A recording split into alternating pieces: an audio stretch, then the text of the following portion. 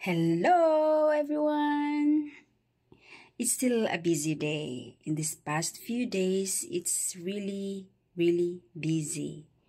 And today, just this morning, I would like to arrange some of my clothes in this dressing, in this closet. So, abalo ko kung asa ako mga gamit kay sa karon maglisod pangita ag pangukay asa ako mga gamit tanawa ang kalat ayuson pa na ako ni karon kung makaya ko man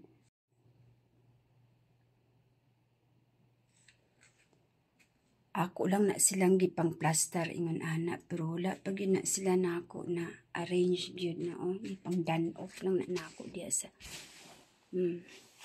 okay wa pag yun na okay, anyway. Hinahinayon lang nako kay pila ka adlaw nga grabe jud ang kinuskusay. So, lisod kay mabar down ng atong makina ha.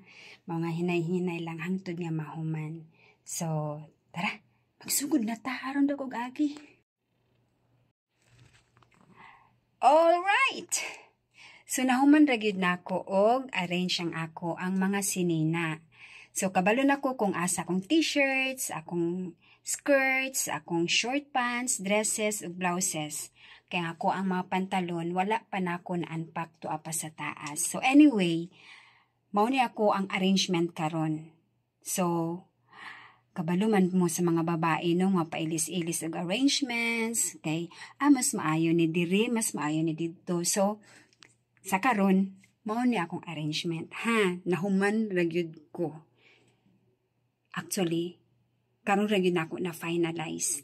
Dili ingon nga isa ka semana na akong inarinsay no, dili ay pahulay pod, pahulay. Pero karon na finalize na ako.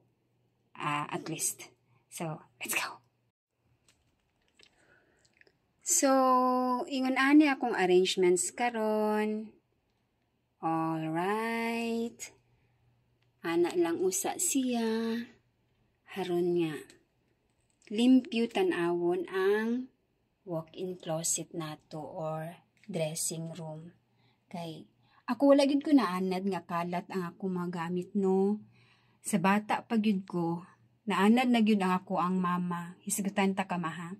Naanad na gyud akong mama nga ako nang nag-arrange sa mo ang mga sinina sa kaban. Kaban man ang gamit nato sa una ug sa cabinet. So, mao na ako ang isa sa ko ang mga hobbies.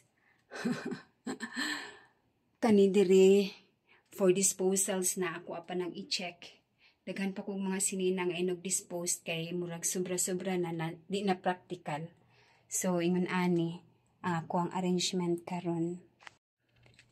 Okay. Ingon ana usa iyang hitsura. Pero kung mausab na siya, gamay ra ang mausab ana. Mhm. Mm okay.